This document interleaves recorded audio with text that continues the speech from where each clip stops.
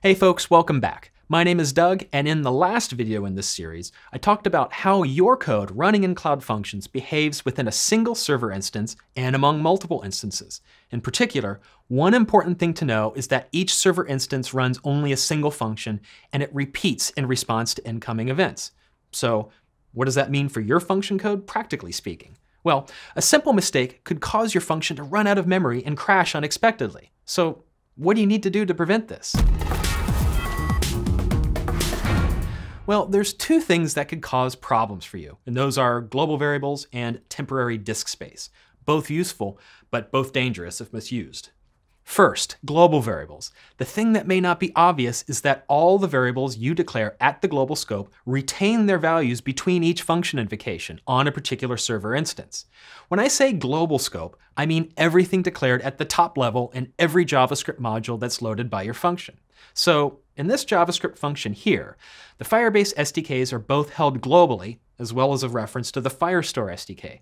Inside the function, the request and response objects, as well as user agent, are not.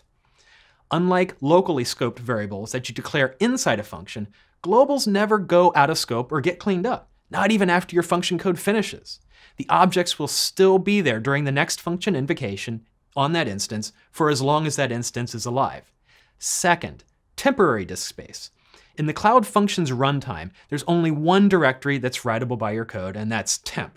In JavaScript, you typically refer to it using the OS module using its tempdir method for portability, because that location of temporary storage may be different than when running your code in the local emulator than when running in Cloud Functions. What you need to know is that temp is actually a memory-based file system. That means every file you write there actually consumes memory just like any other JavaScript object. It doesn't actually get persisted on a real disk somewhere. And, like global variables, it doesn't get cleaned up automatically when your function finishes. Now maybe you can see where I'm going with this. We have the possibility of both global variables and temp files holding onto memory after your function finishes. If these resources aren't properly managed by your code, you run the risk of exhausting memory in the server instance after your function executes repeatedly. And when your function runs out of memory, it'll crash and you'll lose all your work for that invocation. At least Cloud Functions will deallocate the server instance when your function crashes, so that it won't continue to crash like that due to lack of memory. So what could we do to defend against this? Well, the obvious thing is to avoid globals and temp space altogether, if at all possible. Instead, prefer to store data in locally scoped variables so they get automatically cleaned up when the function finishes.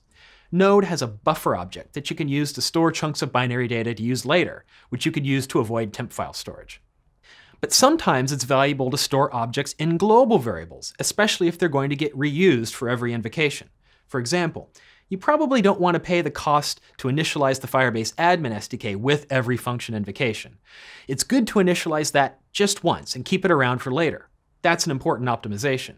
Just don't let objects accumulate in global variables without strict limits.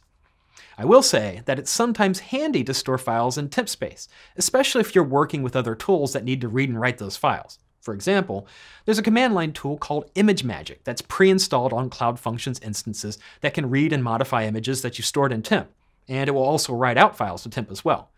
But you should be very careful to remove those files before the function completes, because if you don't, they'll just accumulate over time, use up memory, and again, crash your function. Think carefully if you really need to use temp space. For example, instead of using ImageMagick for image manipulation, consider using a library like Sharp, since it can work with streams of image data in memory using locally scoped streams of data, rather than with files you have to manually clean up. So, use your best judgment when dealing with globals and temp disk space. They can save you time and effort if used correctly, or backfire and leak memory if used poorly. Your function code should be ready to execute repeatedly on a single instance, but it should also be ready to execute in parallel when scaled up on multiple instances. In the next video, I'll share some tips to make sure your functions do the right thing in the face of concurrent execution. So, be sure to subscribe here to the Firebase channel on YouTube to get that when it's ready, and I'll see you then.